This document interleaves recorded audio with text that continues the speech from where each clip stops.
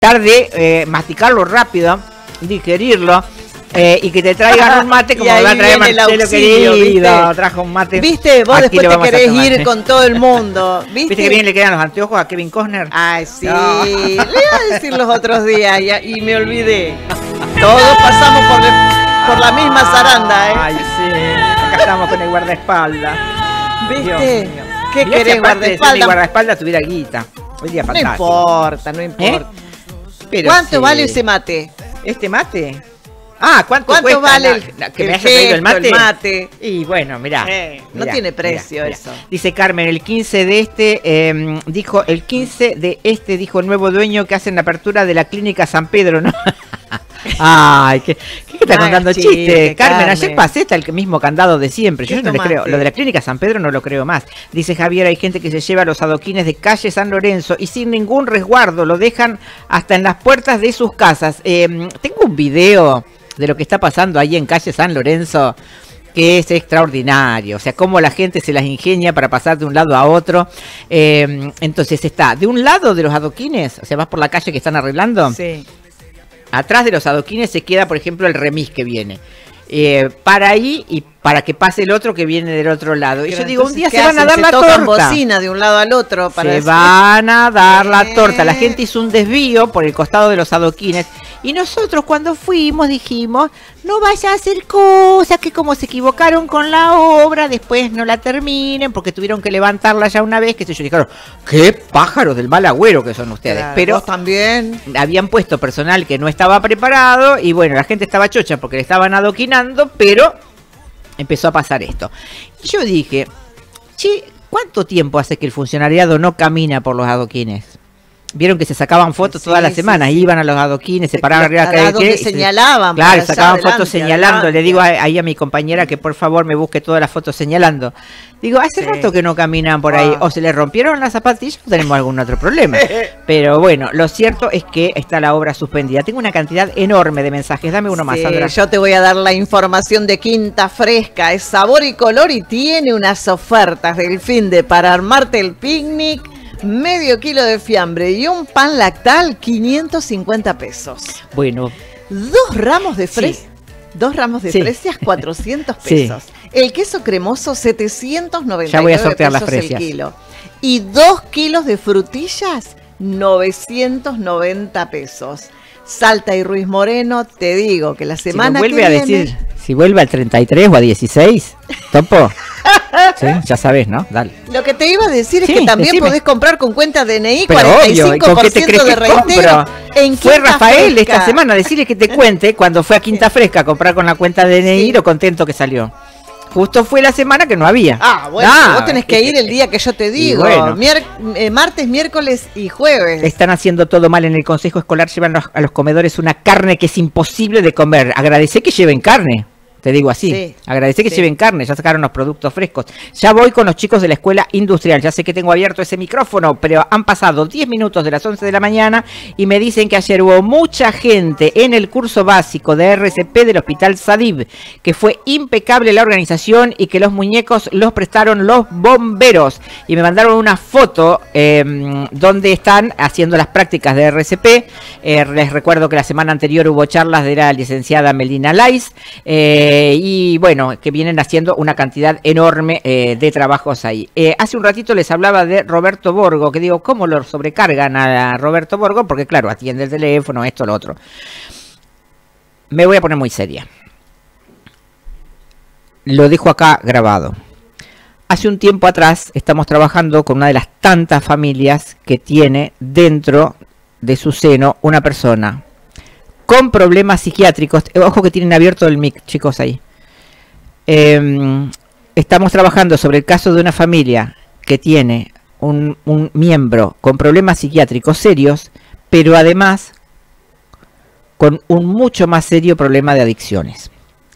Como hacemos siempre desde este medio, antes de tomar algún tipo de intervención, informamos a quienes puedan tener la solución en sus manos. Ustedes saben que acá tenemos el Consejo de Menor de la Familia, la Secretaría de Género, de Desarrollo Humano, el equipo de salud mental, el hospital y demás. Pero además tenemos la justicia y tenemos una ley de salud mental que impide la internación de las personas para su rehabilitación a partir de que presten o no consentimiento.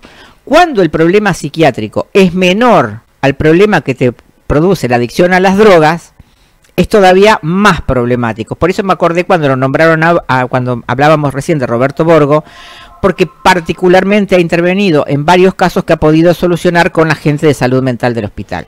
Yo esto lo dejo grabado hoy porque hay una familia que viene padeciendo una situación tremenda con uno de sus miembros que en los momentos en que em, se descontrola, no solo por su dolencia psiquiátrica, sino por lo que consume, ¿sí? roba a su propia familia, eh, tiene conductas violentas, roba a los vecinos del barrio, saquea todo lo que puede y demás. ¿Cómo se resuelve el tema de este chico cada vez? Cada vez que va la policía. Va la policía, lo detienen, o sea, no va un equipo médico a resolver un problema de salud mental, sino que va la policía, lo tiene que llevar preso, de ahí lo llevan al hospital, en el hospital tiene que estar con custodia y todo lo demás. Yo le quiero decir a la gente que tiene que resolver esto en la justicia, no solo por el costo que demanda todo esto, sino por el calvario que le están haciendo vivir a esa familia. No están respetando los derechos de esa familia. No puedo, obviamente, no voy a revelar de qué familia se trata y demás, pero he visto a uno de sus hermanos trabajar 12 horas por día en un trabajo de los que hay acá en San Pedro. A la mujer tratar de sobrevivir con la venta de algunos productos comestibles, eh, a la madre que tiene sus propios problemas por un problema de salud, a la hermana, o sea, es toda la familia dedicándose a él. Y me hace acordar mucho cuando la madre de Chano cuenta en todos los medios, miren, Chano porque es famoso. Y porque lo pudimos internar. Pero ¿cuántas, cuántos hay? ¿Sí? Dejo esto grabado porque en esta semana se produjeron nuevos episodios en esa familia. Ya no soportan más, no saben qué hacer.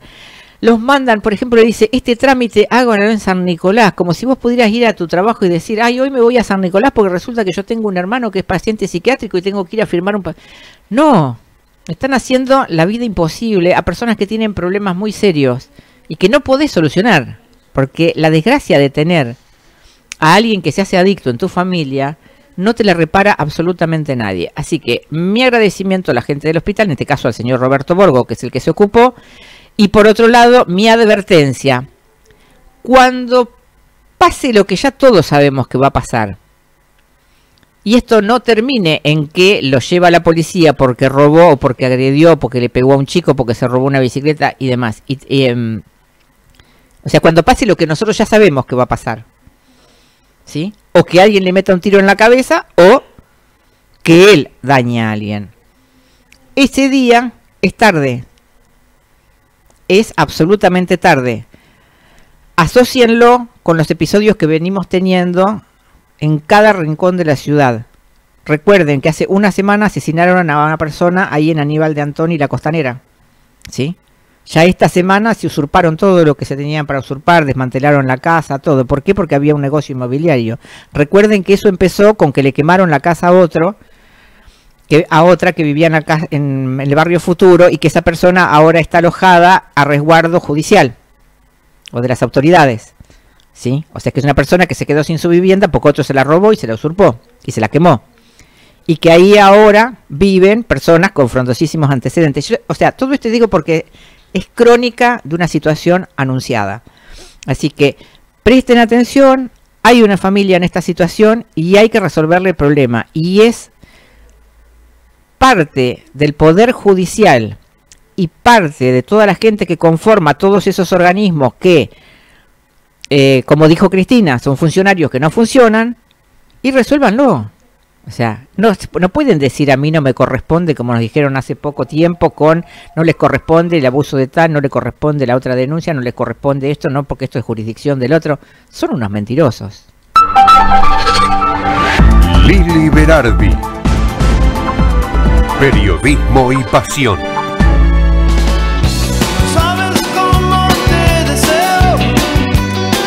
Saben ustedes que dentro de las cosas lindas que pasan en este lugar de trabajo, a veces alguien pasa por la calle y dice, ay, acá está Lili Móvil, como pasó la semana pasada con los chicos de la escuela industrial.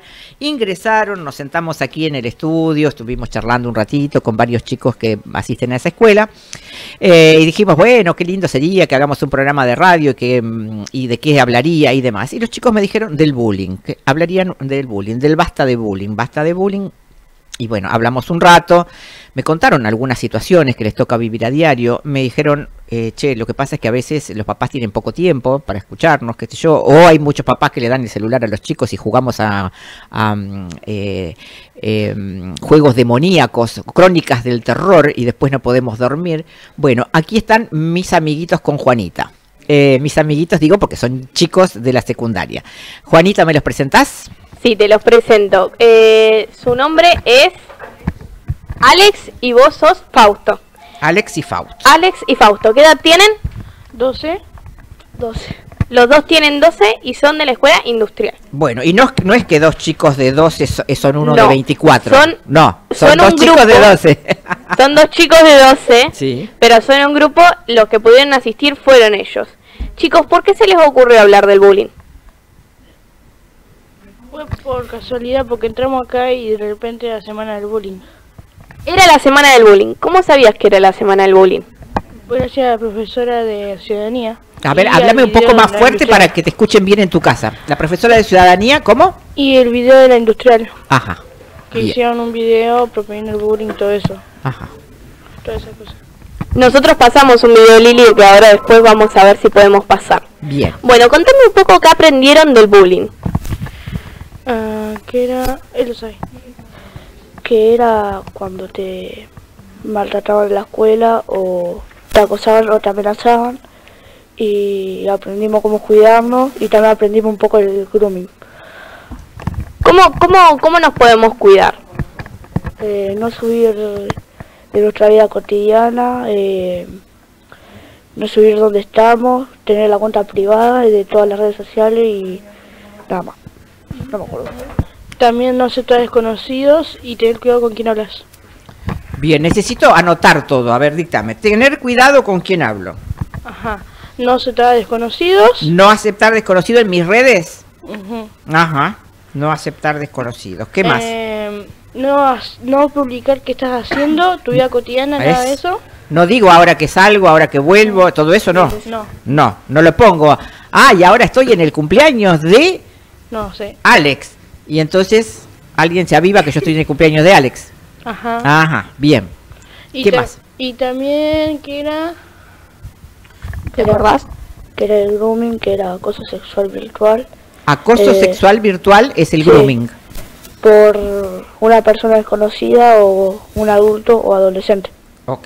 ¿Y qué hago en caso de que me... eh, ¿qué Para ganarse la confianza. Claro. ¿Y qué haces en caso de que te pase algo así? ¿Qué haces en el caso de que te pase algo así? Ah, ah, llamo a un adulto más, responsa- más responsable. Bien. Y ahí le decís, mira lo que me está pasando. Esto también le pasó a Ian, el que vino la otra vez. Claro. Y hoy no Eh, vino Ian. No, Bueno, pero ya va a venir, otro día va a venir, seguro. igual estaba muy enojado. Ah, ¿sí? ¿Por qué? No sé. Ay, no se enoje. Ian, venite. Ian es, ¿no? O Ian. Ian. Ian. Ian, venite cuando quieras. eh, el que estaba sentado acá al lado mío. Sí, el que Bueno. habló casi todo el tiempo. Ah, el más, el más charleta de todos. Bueno, esperemos que pueda venir.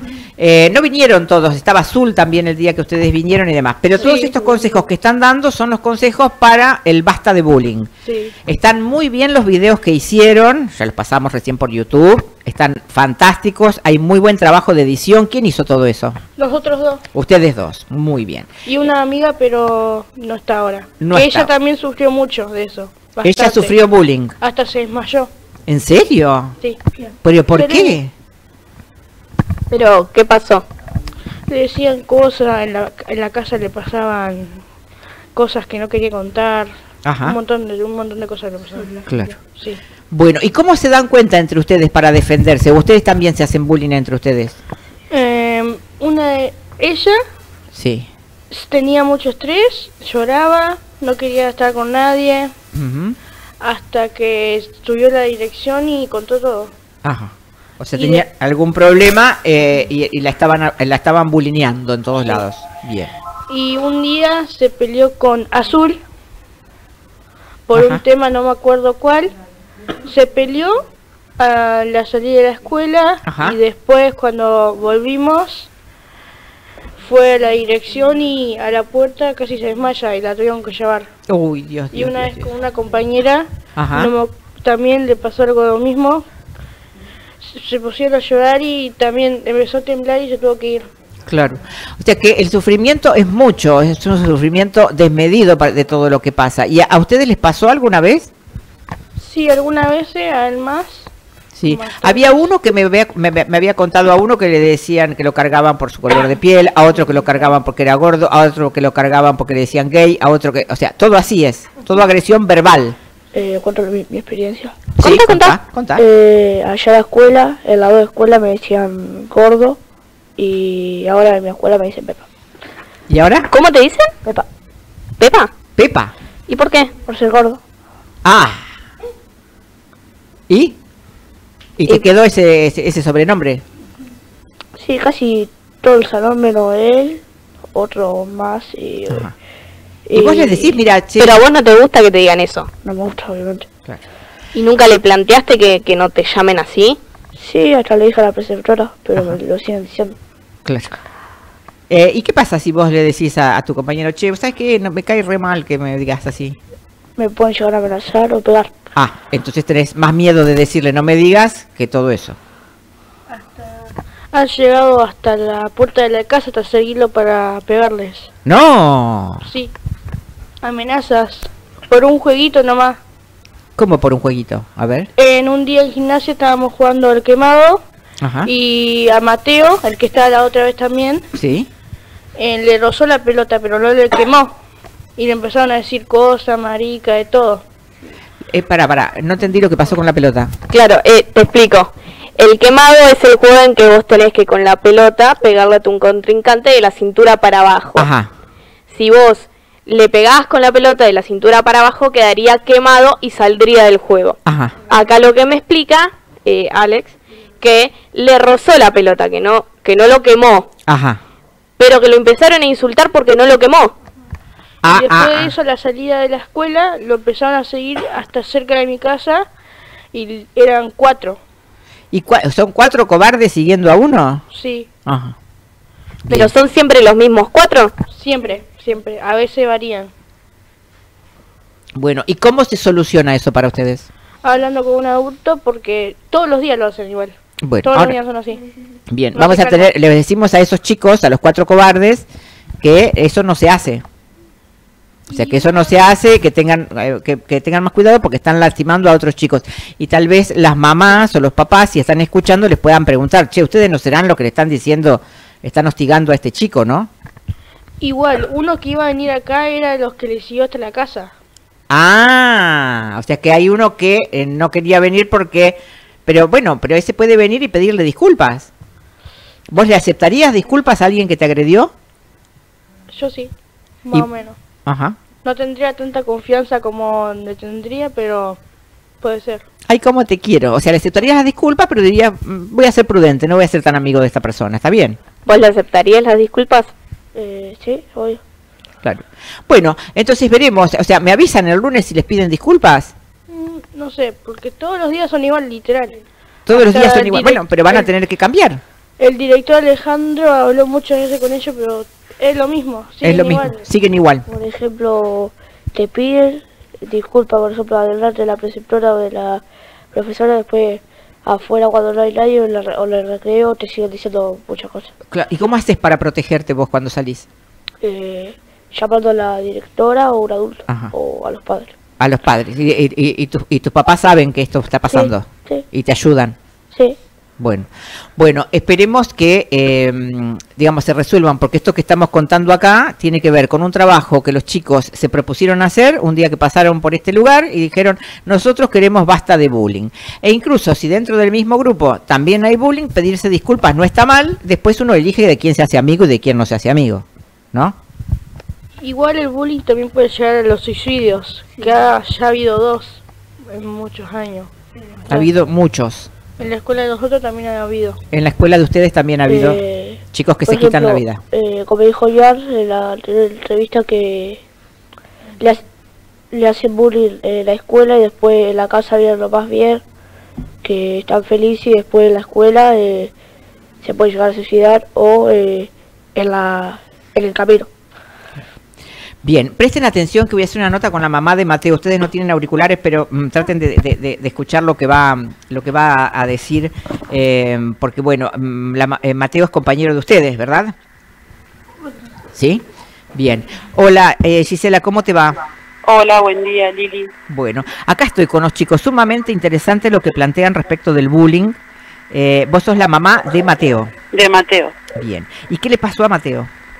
Eh, bueno, Mateo ha sufrido bullying o violencia con los compañeros, eh, siempre son los mismos.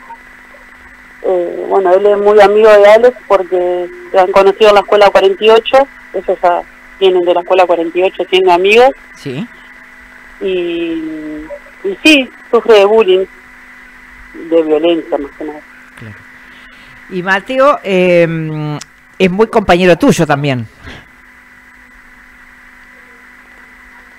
¿No? ¿Cómo? Que Mateo también es muy compañero tuyo, porque tengo entendido que él hace torta, que haces tortas materas para vender vos. Sí, Ah, y Mateo Sí, sale a, sale a ayudarte. claro. No, él las hace, Él las hace él las hace. para ayudarte. Yo por ahí preparo el horno, pero él las hace. Ay, me muero. Me Sí. muero por comprobarlas. A ver, cu- ¿y, y cómo hacemos para pedirle? ¿Es cierto que le robaron el celular? Sí, es cierto que le robaron mi celular en la escuela. No. Y de ahí, bueno, empezamos a hacer torta, igual ya hacía, pero eh, empezamos a hacer para poder comprarse un celu nuevo, pero bueno, no, no llegamos. No llegamos. ¿A ¿Cuánto vale la torta de Mateo? Eh, ahora las tortas, como aumentó todo, están 700 pesos. 700 pesos. Eh, Sí. A ver, ¿a ¿cómo podemos hacer la publi, Sandra? Empezá a, mm, armar. Eh, ¿y, y cuántas puede hacer por día? Eh, y hacemos tres, cuatro, porque tenemos el horno común de la cocina. Ajá. No tenemos un horno grande. Entre los dos. ¿Y de qué son? ¿Es, es- es- es la torta matera tipo budín? ¿La torta redonda? ¿Cómo es? Claro, en una budinera la hacemos de 28 centímetros. Sí. Es grande la torta. Después te voy a mandar una foto. ¿Sí? Mándame una foto que le, así le hago la publicidad. Y escúchame, Bueno. ¿cuánto precisa para comprarse celular? Eh, no sabría cuánto esté saliendo un celular en este momento, pero Claro. Pero ahí es donde él recibía los pedidos. claro, y aparte él llevaba el teléfono para la comunicación conmigo y en la escuela que por ahí buscaban cosas en internet. Pero para, a ver. Él tenía un celular que llevaba a la escuela y cuando sale de la escuela se lo roban. No, se lo roban adentro del salón. Adentro del salón. O sea, Sí. alguien de adentro del salón le agarró el celular. ¿Y qué celular era? Era un J Prime 2, Un, un J- Samsung. un Samsung J Prime 2. Sí, ¿Y cuándo fue eso? eh, a principio de año. A principios de Sí, año. hace unos meses, no hace mucho.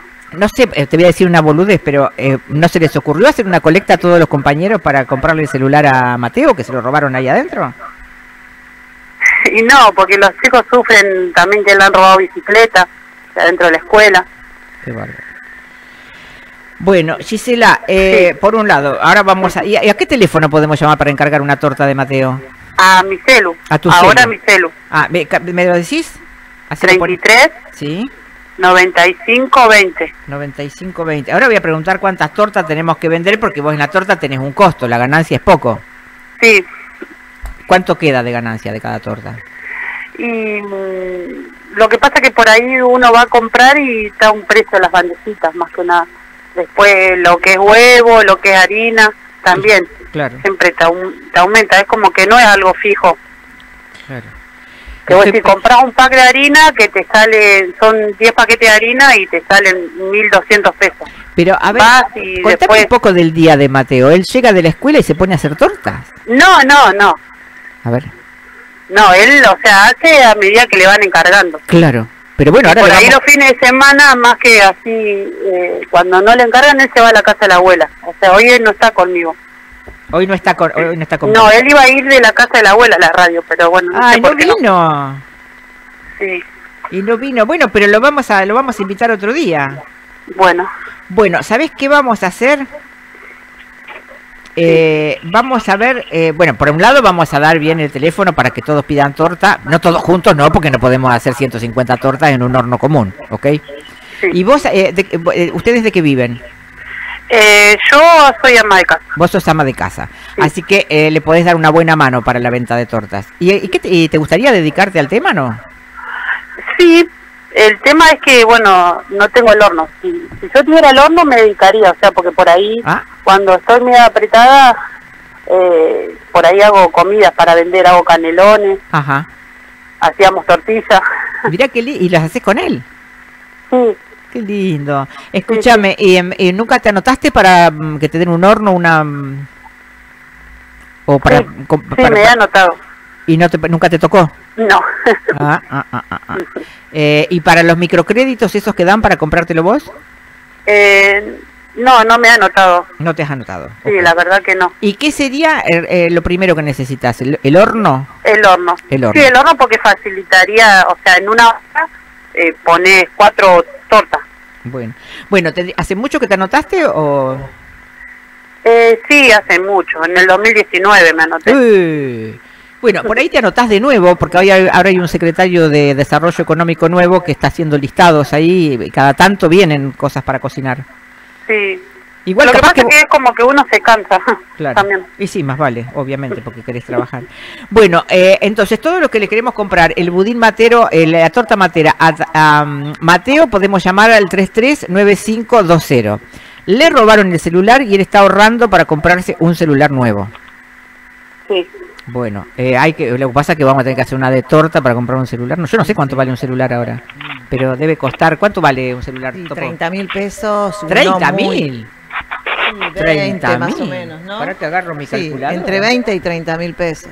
Bueno, nuevo, 20 o pero hay 30. una en Lucicel, por ejemplo, sí. eh, hay usados a muy buen precio. Y dame un precio Eh, de no, precio no ¿Me tengo. podés preguntar? Podría dar, pero Bueno, vamos a averiguar para el lunes o martes. podemos averiguar, sí. A ver cuántas tortas tenemos que vender para el celular de Mateo. claro. Bueno, y contame este episodio de bullying, eh, aparte del, del robo. ¿Él es víctima de bullying, Gisela? Sí. ¿Qué Sí, le- él ha llegado, la última vez que llegó, que fue ese el que contó Alex, Sí. que estaba en gimnasia, y vino y me dijo que, que hasta ciertas cuadras lo habían seguido unos compañeros, que le gritan cosas, que bueno, le querían pegar, y lo siguieron hasta, bueno, yo vivo a Carlos Aromos, y eso lo siguieron hasta la Casero y Sarmiento. ¿Y él en qué se va de la escuela hasta tu En casa? bici. En bici. Uy, qué, vara- qué bravo, che, qué bravo. Bueno, vamos a ver qué podemos hacer con los chicos si seguimos trabajando. Me hicieron unos videos fantásticos para el bullying. Yo los voy a difundir en Radio Cuarentena todos los días como un llamado de atención de los chicos hacia los grandes. Eh, y acá me dice, eh, aprovecho lo comentado por Mateo para comunicarte que el sábado que viene en el Día Mundial de Prevención contra el Suicidio, problemática muy acuciante y que requiere una pronta resolución aquí en la pequeña localidad de San Pedro. Saludos, me dice Maxi. Así que si lo podemos detectar a Maxi, porque fue una de las cosas que me dijeron los chicos, Gisela. Sí, Dice que hay chicos que se quitan la vida por esto. sí. Sí, eso lo hablamos mucho con mi hijo. Claro. Bueno, Por eso uno no le dice que use la violencia, porque cuando los chicos los perseguían, eh, yo fui después, hablé con los profes, Sí. eh, como que hice un acta, hablé con la secretaria, que es la que más siempre está con eso. Y, y bueno, uno trata de prevenir desde la casa, pero es difícil. Bueno, se tienen que juntar todos los anti-bullying, eh, no pelearse con nosotros y ser solidarios entre ustedes, chicos. Alex, eh, eh, el- los otros chicos que no vinieron, Mateo, eh, Fausto, todos, ¿no? A ver, abrir el micrófono ahí, Topo. ¿Cómo me decías? Acá tengo todos los nombres de los que participan. De los que van a participar en el anti-bullying. Dale, decime, a ver. Estoy yo, Sí. Selene, Brenda, Azul, Mateo, Fausto, Ian, Rodrigo, Nicole, Melody, Valentino y Estefano. Ah, pero son un montón. Un montón. Juan, y vamos a tener que armar algo con los chicos, ¿eh? Y Adiel, me olvidé. Ajá, bien. Bueno, entonces le vamos a decir a Juanita, directora ejecutiva de todo lo que van a hacer los chicos. ¿Y qué, cómo piensan hacer? A ver, hacer una campaña publicitaria. Una campaña publicitaria. Bueno, bárbaro. Y Yo me pongo. Estamos Sí. haciendo un canal de YouTube también. Ah, ¿y cómo se llama el canal de YouTube? Sí, pero está en privado, pero lo tiene que arreglar. Yo, eh, Stop al Bullying se llama. ¿Cómo? Stop al Bullying. Stop al bullying. Bueno, perfecto. Vos pasame que yo lo voy a poner en mi programa de la semana. Cuando cierro el programa, voy a poner todo lo que ustedes pongan en el Stop al bullying. ¿Sí? Lo tengo ¿Les que poner parece? público igual. ¿Eh? Lo tengo que, pon- que poner el público. Porque Mirá, está- si vos.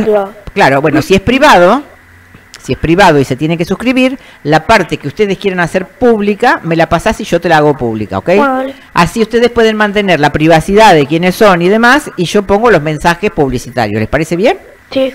Qué lindo programa estamos organizando acá. Bueno, Juan, ¿y te parece bien así? Dale, me parece bien. Y, eh, porque ellos, al tenerlo por privado, impiden de que haya gente que los acose y todo lo demás. Claro. Ok, o sea que si me acosan, que me acosen a mí. Y nos acosarían. Claro, pero, hombre, está bien, porque yo, No, pero- nosotros tenemos otra espalda los medios de comunicación. Y sí. Así que bueno, bárbaro, vamos a combinarnos, vamos a quedar con todos los contactos para tener Dale. lo que ustedes produzcan, chicos, me lo mandan. Y cuando quieran, vienen, ¿ok? Genial. Bueno, Gisela, Sí. ¿sí? Le mandás saludos, un abrazo a Mateo cuando vuelva a tu casa. Le decís, eh, acá me dice el canal de los chicos, me dice acá. me dice Tadeo. Yo tengo un operador que es un, amor, un tesoro. Eh, y bueno, tiene el canal de los chicos acá. eh, bueno, seguramente a nosotros nos van a dejar entrar. Me imagino que nos van a invitar. Nos podemos suscribir. Sí. Bueno, Gisela, eh, y dejo el teléfono para que los que quieran torta matera de Mateo para ayudar a comprar el celular. Y capaz que hay alguien que tenga un celular, che.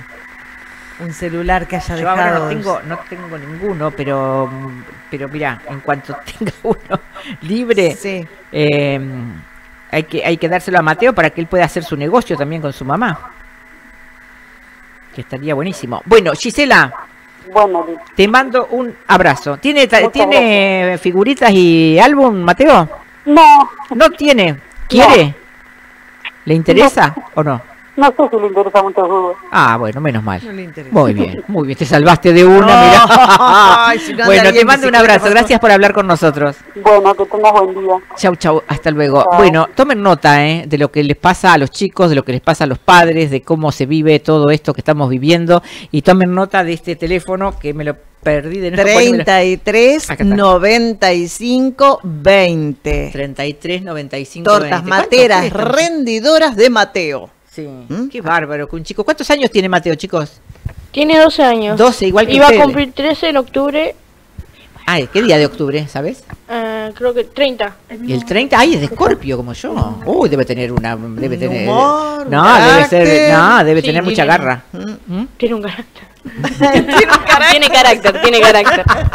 Tiene carácter. Bueno, chicos, gracias, gracias. Y a mi amigo, eh, no le- o sea, ¿cómo te gusta que te cómo, cómo te gusta que te digan a vos al que le, le- le- lo Eh, cargan? Fausto, Fausti, Fausto, como quieran. Le pusimos de nombre Fausto, Fausti o como se nos ocurra a nosotros. No Sí. queremos ningún sobrenombre, ya saben, ¿eh? Y ¿sabes qué? Si te llegan a decir sobrenombre, disfrútalo.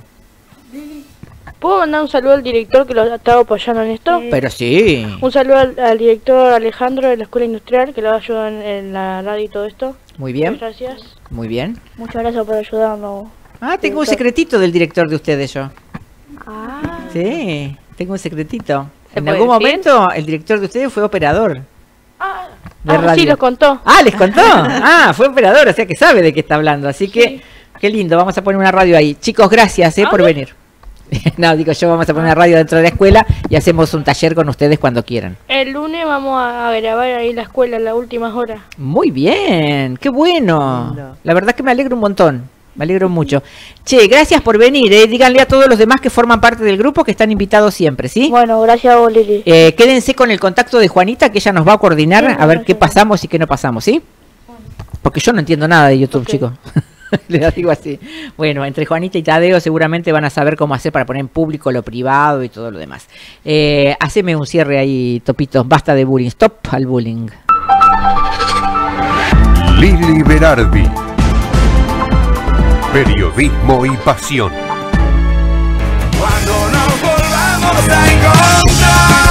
Mucha gente que nos está preguntando qué pasa con lo sucedido en el boliche el pasado domingo. Recordarán ustedes este episodio trágico que mm, Eh, bueno, eh, llevó dos días dar a conocer el, aquel famoso segundo video que hablaba de cuáles fueron los eh, cuáles fueron los momentos previos a ese desastre que ocurrió en la puerta de Lux. Hoy van a estar cerrados los dos boliches, Lux y Hollywood, dos boliches donde se registraron episodios violentos con la, acción de los patobicas.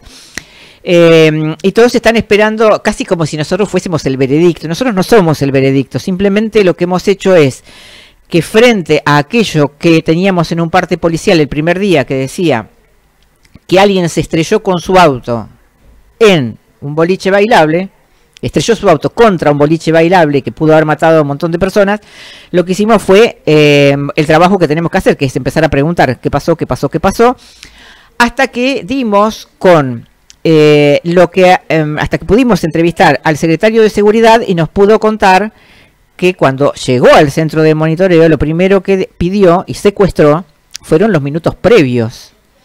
A ver qué había pasado antes. Y claro, eh, tuvimos que esperar hasta el martes a la tarde para poder dar a conocer el material y teníamos muchos reclamos diciendo por qué no dicen la verdad, por qué no dicen la verdad, por qué no dicen la verdad. Y la verdad es que la verdad recién salió cuando se pudo mostrar el segundo video que ya tenía la doctora Viviani para analizar y abrir una causa. Y a esta altura del partido todos se preguntan por qué nosotros seguimos diciendo lesiones leves. Cuando a todas luces se ve como, como dijo el secretario de Seguridad, los chacales, que o sea, como- o sea lo molieron a golpes a Esteban eh, Damián Reyes. eh, a las, entre las 5 y 5 y las 5 y 11 de la mañana eh, ocurrieron estos episodios en las puertas de Boliche Lux. Eh, cuando se vio ese video, que no tiene nada que ver con el otro, se terminaron abriendo dos causas, con lo cual a todos los que están esperando nosotros digamos quién es inocente o quién es culpable, no es algo posible para nosotros porque es difícil de explicar cuando uno ve la película completa. Pero la película en la justicia no es una sola película, son dos películas. Una es por lesiones leves, por todo lo que golpearon a Esteban Reyes, y hay otra causa que es por intento de homicidio por parte de Esteban Reyes contra las personas que estaban en la puerta del boliche. ¿Se entiende? Este es el motivo por el cual quedó detenido a disposición de la justicia una vez que fue dado de alta. Hay una segunda situación para aclarar, ¿sí? sobre todo porque hubo mucha participación de medios en todo esto y mucha confusión respecto de qué dijo, me dijo, me... Hay otra situación para aclarar. Una es la que tiene que ver con qué pasó adentro del boliche. Adentro del boliche lo que tenemos son el relato de la expareja de Reyes y el relato de quienes lo sacaron del boliche. Lo que sostiene la expareja de Reyes es que no estaba haciendo nada más que grabar con su celular. Ese celular desapareció. Es un celular que tiene que aparecer. Pero que en ningún momento se produjo ni una acción de violencia de género ni nada. Que simplemente pidió que lo sacaran del boliche y lo sacaron. Hay testigos que sostienen que lo agarraron no del cuello, del cogote, lo llevaron afuera, lo molieron a golpes. No solo lo molieron a golpes en ese escalón de acceso al alto nexo, sino que además lo orinaron. ¿Sí? Y es ahí cuando este chico logra escaparse hacia el cajero del Banco Nación y se ve a distintas personas que estaban en el lugar cuando lo estaban moliendo a golpes. Por eso es que muchos consideran que es injusto lo que estamos diciendo, pero es así, o sea, no, no, no, hay, no hay discusión sobre lo que se ve en las imágenes. Por empezar, el tiempo suficiente para que los patobicas llamaran a la policía y al chico se lo lleve la policía, con lo cual no se hubiese subido al auto. Las personas suficientes que vieron eso para poder decir para, para, para. Porque mientras que el de eh, la campera con la raya blanca pega, golpea, lo levanta de los pelos, lo tira al piso, lo golpea contra el cordón, lo vuelve a tumbar y demás, había mucho tiempo de para, para, para. Y un, una persona que aparece caminando detrás con pechito al aire, que va como directamente hacia el lugar donde va Reyes, que dice ahora que no se acuerda de nada, y por eso su estudio jurídico está diciendo que actuó bajo emoción violenta, pero que también algún rol tiene que haber desempeñado y que seguramente será objeto de la investigación de la doctora Viviani.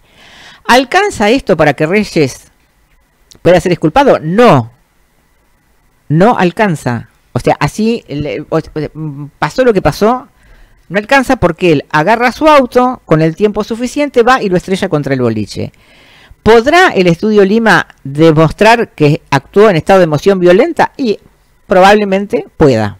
Si eso llega a suceder, es probable que la pena que recaiga sobre Reyes sea mucho menor a la que podría ser si se confirma el intento de homicidio. Eso por un lado. ¿Por qué es lesiones leves? O sea, ¿por qué se considera que esa salvajada que le hacen al pibe es lesiones leves? Porque las lesiones leves para todos nosotros sería que te lastimaste la rodilla, que te caíste, que te raspaste. Para la justicia, la lesión leve se juzga de acuerdo al tiempo en que vos tardás en recuperarte. ¿Ok? O sea, el tiempo que tardás en recuperarte de una fractura, de una piña, de un hematoma y demás.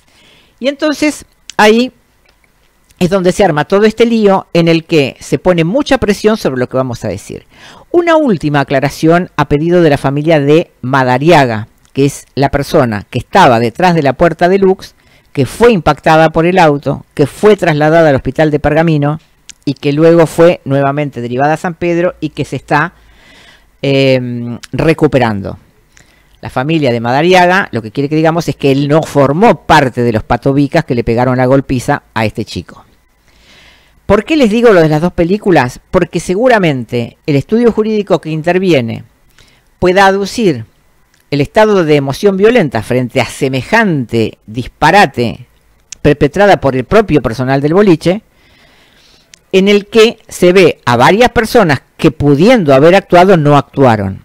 Se lo vamos a preguntar, por supuesto, al doctor Hugo Lima. ¿Qué tal, doctor Lima? ¿Cómo le va? ¿Cómo andás, Lili? Bueno, aquí tratando de explicar lo inexplicable, porque para una Sí. cosa es en la justicia y otra cosa es en la, en la radio, ¿no? Sí, sí, sí, es, es difícil. es muy difícil comprender que a esa salvajada se le pueda llamar lesiones leves. Totalmente, totalmente de acuerdo. Com- te comparto 100%. Eh, Eh, sobre todo que si eh, por un lado se le está poniendo tentativa de homicidio a él en un estado de total emoción violenta, ¿por qué no se le puso tentativa de homicidio a las patovictas? ¿Usted eh, cree que esa. Podría, que podría caber esa calificación? O sea, yo cuando veo la golpiza en el video, digo, pero esto lo quisieron matar. Y yo no tengo duda de que es así, porque además, vos fíjate que tuvo la suerte de salir gateando y que no tocó ninguna zona letal, porque eso, eso mismo pasó, bueno, en Villa Gesell, sabemos lo que pasó Sí. cuando te pegaron.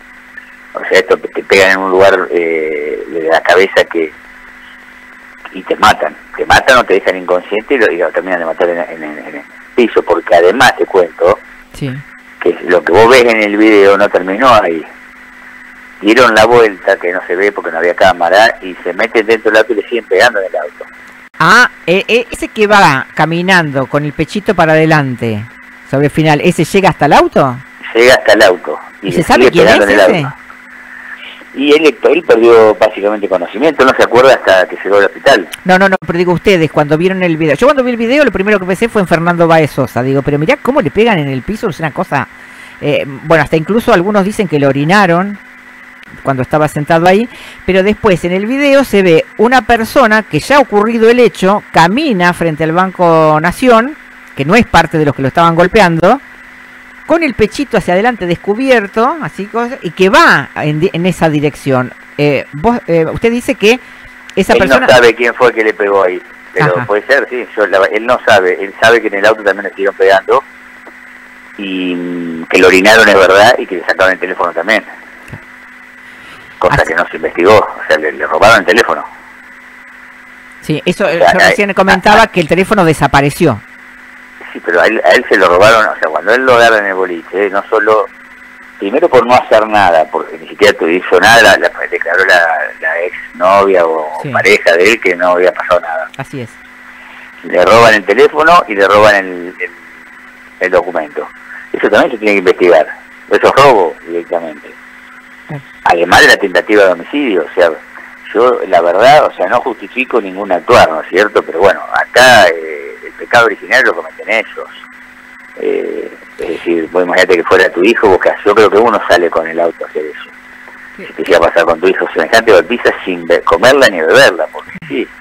¿Y cómo Claro, encuadra la responsabilidad de toda la gente que nosotros vemos en todos los videos que mira en vez de hacer algo? Y lo- la, la apatía que hay hoy en día. El otro día eh, justamente estaba leyendo un artículo sobre un italiano que le había matado a un indigente porque no sé qué le había dicho a la novia y lo mataron, lo mató, lo mató con sus propias muletas delante de todo nadie dice nada. Sí. Eh, es un poquito lo que está pasando en el mundo, ¿no? O sea que no, es la, la indiferencia por la vida misma. Eh, es difícil, pero bueno, eh, ocurre. Eh, ¿Qué es lo que creen probable ustedes poder demostrar acá? Yo creo que la, la típica emoción violenta del librito es esta. Mm. Es decir, eh, el, el- chico o sea, ni, ni sabía lo que hacía. O sea, de hecho, lo dijo, o sea, él declaró y dijo que él, él perdió el conocimiento en ese momento. O sea, él se sintió con impotencia de tal manera de, de- de- de que hicieran esa, brutal, esa brutalidad que para mí el típico caso de emoción violenta, lo que pasa es que, bueno, hay, hay que demostrarlo, ¿viste? Eh, ¿y porque es qué- un, es, un momen- es un momento, la emoción violenta es un momento donde vos perdés el, el- el conocimiento de la criminalidad del acto. Eh, entonces, eh, pero para mí es clarito. ¿eh? Ahora, doctor, eh, ustedes actúan en la causa en la que defienden, lo defienden de la causa de tentativa de homicidio y también van a, van a actuar en la que acusan eh, lo que- por lo que le pasó. Por supuesto, ponerle lesiones leves. Ahora te, después, te- después te voy a pasar una foto de cómo quedó el chico. Sí. Eh, en un ratito ya te la paso. Eh, porque en realidad las, las lesiones, cuando ponen en riesgo la vida, como en este caso, o, o tienen una curación que va a llevar más de 30 días, no son leves, son graves. Claro. Y utilizando el mismo criterio que utilizaron para poder hacer la acusación respecto de, de él, también tendría que haberlo hecho respecto a los Costricas. Ahora, imagínese si no hubiera aparecido, nosotros tarda, eh, o sea, recién lo publicamos el martes a la tarde el video. Si ese video no Sí. hubiese aparecido, o sea, queda el auto incrustándose ahí eh, y un loco que va a matar gente. Claro. Si no- o sea, no, no- Eh, Tal cual, y eso es lo que ha pasado tantas veces. Bueno, uno lo ve en Buenos Aires permanentemente cuando a los ladrones que los corren con el auto y los arrollan, los pasan por arriba y vuelven a pasarlo. Son, son momentos de... Cada uno, viste, no sabe cómo actúa frente a un, Claro. un tema tan tan duro. O sea, realmente Sí, uno tiene que estar en esa situación para saberlo. lo que yo me doy cuenta que a la, que las familias, sobre todo, les cuesta entender que estos sean causas separadas y no sea una sola causa. No, no, son causas independientes. Claro. Eh, si la familia, uno no puede tomar justicia por mano propia, Claro, eso es una sí, sí. realidad, pero hay, hay veces está el, el estado de emoción violenta está, está previsto como un como un atenuante de, de- de una situación, con- bueno, en este caso, donde uno, donde uno no llega a comprender lo que está haciendo y lo hace actuar instintivamente, digamos. No, es Eh, ter- terrible lo que le ha pasado. Y él actuó instintivamente. Él, a él lo sacan de bolito, le roban el teléfono, eh, lo, lo orinan, lo, lo, lo muelen a palos, le, le siguen pegando en el auto. O sea, es muy difícil no entrar en, ese- en ese estado de emoción violenta. Aparte sin comerla ni beberla, porque ni siquiera fue tipo agresivo, no tiene ninguna causa por ningún por ningún delito, o sea, que era- creo que tiene 23, 24 años, o sea, un chico joven. 25. 25. Y el que más le pega 25. tiene 23. Eso es lo que yo no... O sea, y mm, yo digo, si a esta altura de la vida el tipo mm, pega de esa manera a- entre tres o cuatro que lo agarran, ¿no? Y eso es como, es, como tener un, pitbull eh, adiestrado para matar, ¿viste?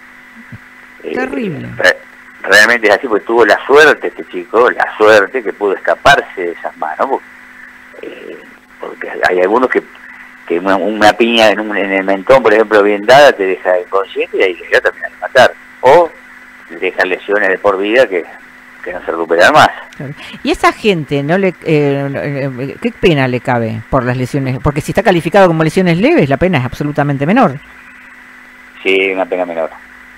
Eh, lo que pasa es que nosotros vamos a pedir la recalificación de Sí, o que no, por lo menos que no pueda trabajar de lo que trabaja, porque... o sea, Eso no, o sea, por supuesto, esa- la responsabilidad directa la tiene el dueño del boliche.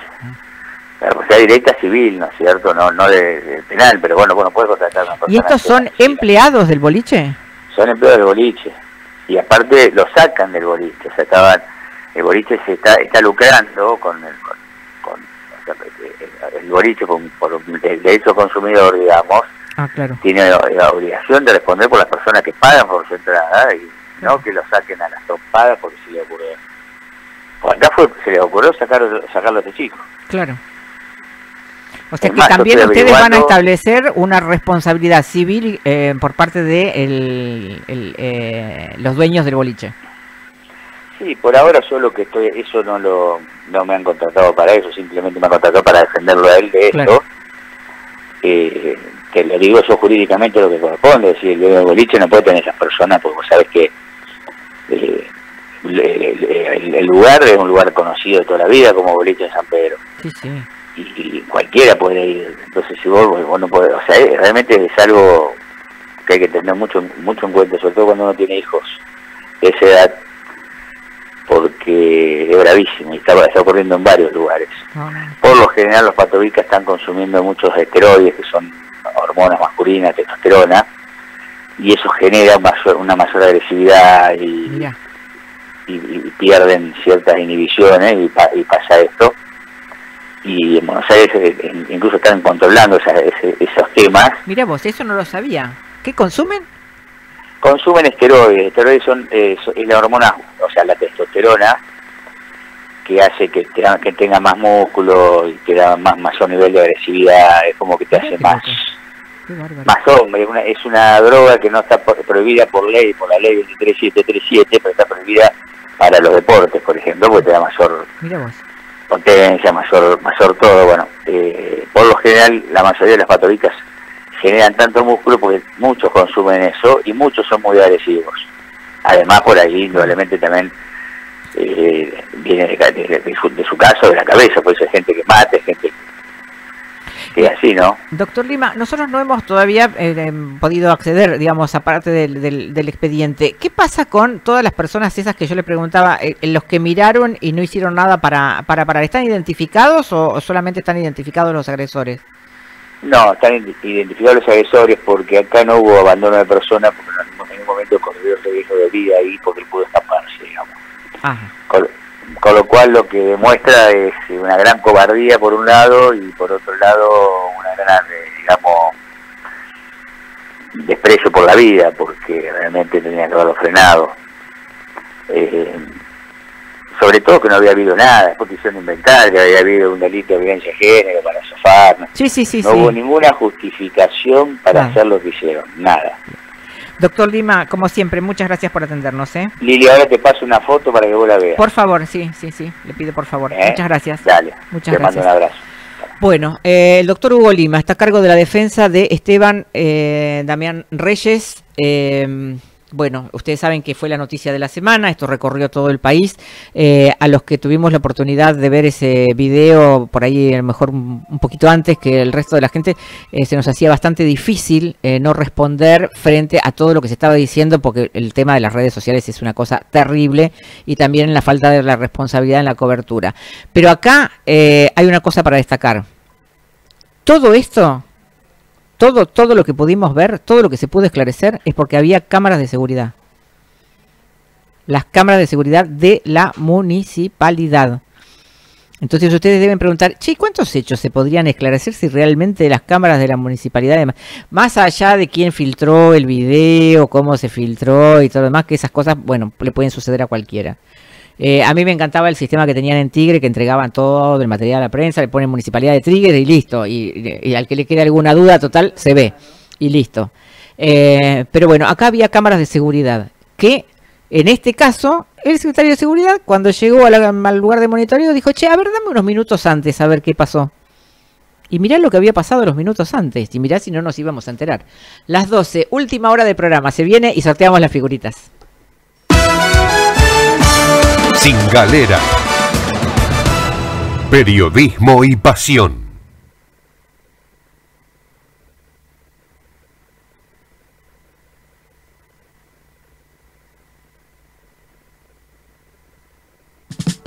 Quiero